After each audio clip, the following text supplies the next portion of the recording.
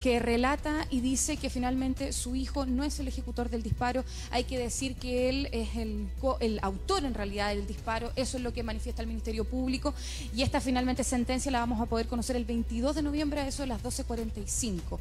Vimos, claro, en este caso todo el rato estuvimos sentados al lado de Mitzi Bustos, se veía afectada. Una vez que comenzó este veredicto, cuando la jueza empezó a hablar, dijo al tiro cuáles iban a ser en este caso quienes cumplían el rol de autor, en este caso de homicidio calificado y también en el caso de eh, los otros, los otros dos jóvenes, en el caso de cómplices. O sea, solamente en este caso son dos autores, que en este caso es eh, Francisco Huayquipán y Brian Melián, mientras que los otros dos serían solo cómplices. Sin embargo, tres quedaron con prisión preventiva.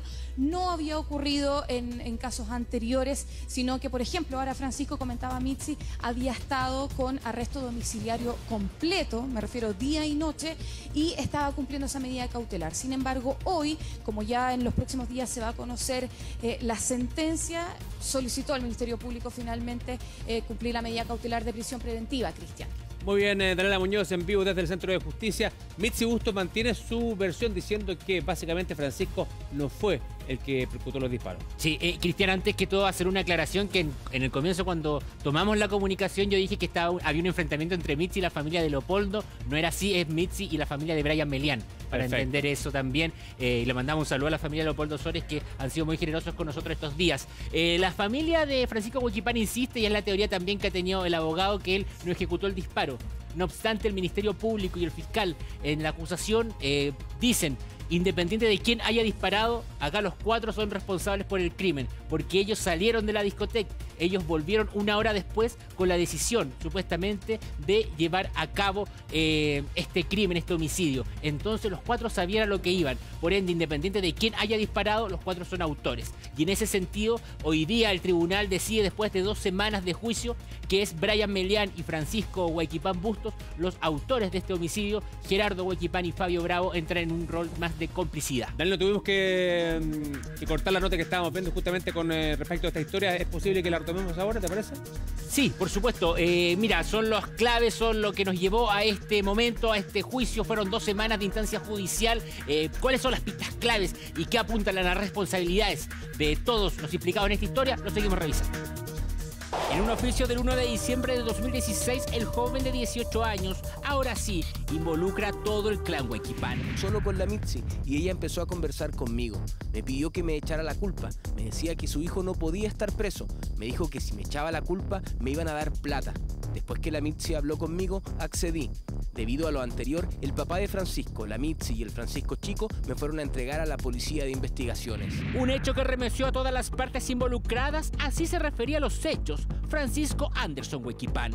Lo que te puedo decir que mis hijos son inocentes, acá hay un justo que dio y, y ellos lo saben. O sea, acá no hay que más indagar nada más, lo único que te puedo decir que que no los favoreció mucho lo que Chilevisión hizo con nosotros, creo que fue, fue una tontería. Eh, los quisieron, no sé, como hundir, opacar, no sé, querían destruirme, no sé, mis proyectos que tengo. Pero nosotros vamos a seguir adelante. Eh, acá eh, nosotros somos muy unidos como familia, sabemos que las cosas las hacemos bien. se cometió un error, ese error ya está asumido, pero que vengan a hablar de esa forma eh, creo que no corresponde. Aún quedan muchas dudas en torno a esta historia, interrogantes que se esperaban aclarar luego de las declaraciones que deberían entregar frente al tribunal el padre y la hermana de dos de los acusados. Pero ¿cuál era el real vínculo entre Osores y Yaritza Huequipán? En febrero del año 2018, la familia del denominado Toki de la Legua entregó la que era su versión de lo sucedido al diario El Mercurio. Pese a que Francisco y Leopoldo Sores venían del mundo del fútbol amateur, el acercamiento del fallecido deportista a la familia Huequipán fue precisamente por una relación que mantuvo con Yaritza. Nos juntamos en la estación del metro Camino Agrícola y me fue a dejar a la universidad. Me contó que jugaba fútbol en el primer equipo del Juventud Norambuena, como mi hermano, pero en otra categoría. Pese a que la hija menor de Huayquipán comentó que Osores, a quien ella se refiere como Seba, su segundo nombre, le presentó como su polola en un encuentro familiar, nunca hubo una relación formal. Él quería que le diera más tiempo y yo no iba a dejar a mi hija y a la universidad de lado. Me saturó. Una semana antes del hecho de 2016, Francisco habría visto a Osores besando a una mujer en una discoteca, por lo que lo encaró, aunque sin pelear. Según la versión de Yaritza, dice que no se enteró de este episodio, pero terminó con el futbolista una semana después para tener mayor tiempo para ella. Desde ese momento, Sores habría culpado a Francisco del alejamiento con su hermana. El día de la pelea, los Huayquipán se habían reunido en la clínica Dávila, donde se encontraba la madre de la familia, Mitzi Bustos, quien se encontraba internada por una anemia aguda. En la noche, Gerardo, el otro hermano, presuntamente involucrado en el homicidio, sugirió salir a bailar. Yo les dije que se acostaran, que fueran conscientes de que mi mamá estaba hospitalizada, pero no me hicieron caso hasta la discoteca conocida por los conflictos que se generan en su interior.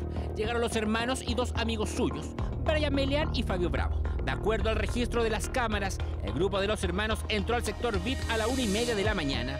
En su paso, se encontraron con Osores. Gerardo Huayquipán indicó que en esa oportunidad, Leopoldo habría emplazado a Francisco. Él encaró a mi hermano, le dijo, por tu culpa terminé con la Yari. En un segundo encuentro se puede apreciar una discusión en la que, de acuerdo al relato de Gerardo, Leopoldo Sores lo habría amenazado con lanzarles una botella, además de encarar a uno de los amigos, Brian Melian, por su responsabilidad de su familia en el encarcelamiento de parientes suyos. Ante eso, Melian habría amenazado a Sores con que le iba a disparar. El Brian estaba picado, decía que quería volver y mi hermano andaba en el auto con él. Yo, que soy más centrado, lo seguí en el mío. El Brian pasó a su casa y luego regresamos a la discoteca. Según la versión de los Pan, cuando Francisco se enteró al día siguiente de lo sucedido y que supuestamente su hijo había matado a Osores, él lo encaró, dice Yaritza, que de inmediato Melian salió al paso. El Brian saltó y dijo, no le pegue nada, tío. Yo fui el que disparó, pero no lo quería matar.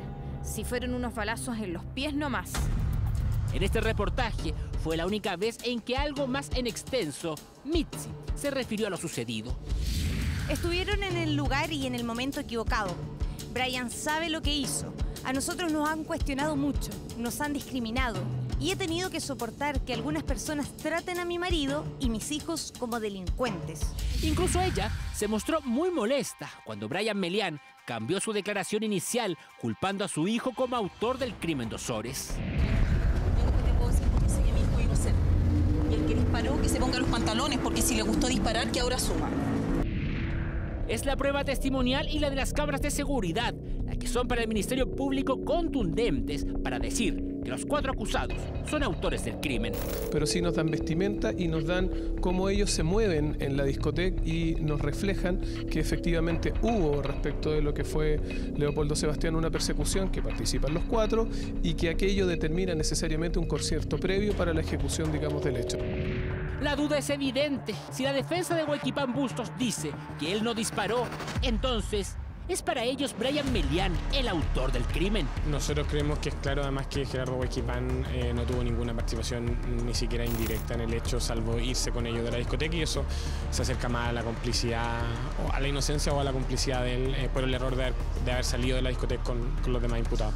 ¿Es Brian Melian nosotros creemos que Francisco no disparó, eso es lo importante. Y yo creo que el Poder Judicial, la Fiscalía y los abogados que están dentro de esta causa tienen claro quién realmente disparó. Para el Ministerio Público, independiente de quién disparó esa madrugada, los cuatro acusados son los presuntos responsables por el crimen de Leopoldo Sores. Piden 12 años de cárcel para Francisco y Gerardo Huayquipán, lo mismo para Fabio Bravo Lorca y 7 para Brian Melián por su colaboración en la investigación. Donde habría autores materiales, pero también habría autores que se concertan para que ese autor material pueda llevar a cabo la acción homicida. Para mí son las cuatro personas, planificar algo, volver a irse, volver a algo. Es una planificación que se hizo antes y con un solo objetivo de venir y asesinar a una persona.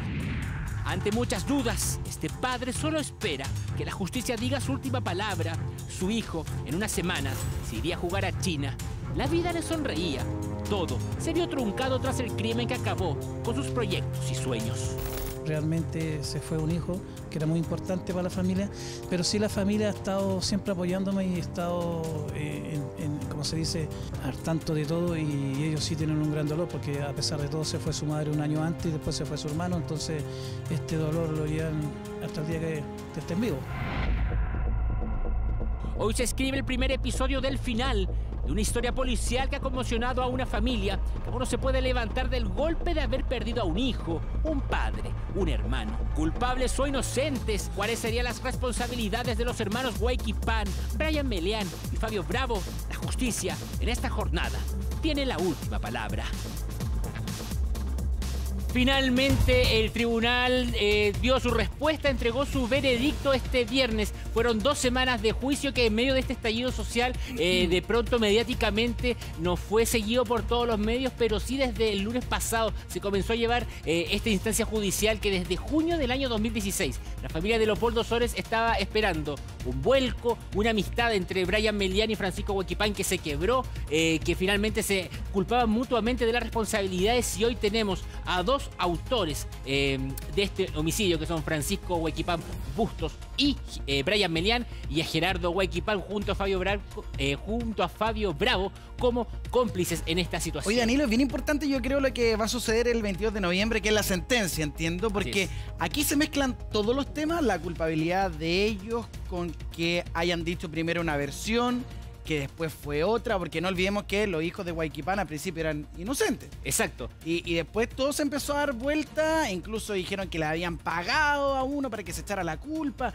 Todo eso debería estar involucrado en la sentencia final. Todo esto se involucra y esto es muy especulativo lo que voy a decir, pero a mí me da la impresión que la reacción que vimos ahí de la familia de Brian Melian tiene relación con que el Ministerio Público para Brian Melian estaba pidiendo siete años, a diferencia de los otros tres eh, acusados, para quienes pedían 12. Eh, y esos siete años son por la colaboración que prestó finalmente por decir la verdad, por el vuelco que dio en su declaración y porque gracias a ese testimonio finalmente se llega a los cuatro acusados. Entonces, como se pedía menos, seguramente fue muy sorpresivo que él quedara en prisión preventiva a la espera de eh, conocer la sentencia del día 22 de noviembre y por eso la reacción. Vamos al Centro de Justicia con eh, Daniela Muñoz, no sé si que hay más familiares de, de, Francisco Guayquiván, por ejemplo, de Gerardo o también de Brian Melián. Cuéntanos eh, detalles de, de la audiencia, Dani. Te escuchamos, adelante.